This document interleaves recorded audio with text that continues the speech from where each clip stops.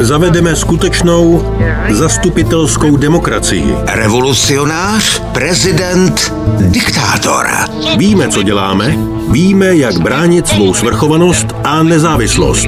Jeden z nejkontroverznějších politiků světa Lidé vědí, že jim vláda nikdy neřekne lež. v unikátním snímku Fidel Castro očima filmařů v úterý ve 21.45 na CS History.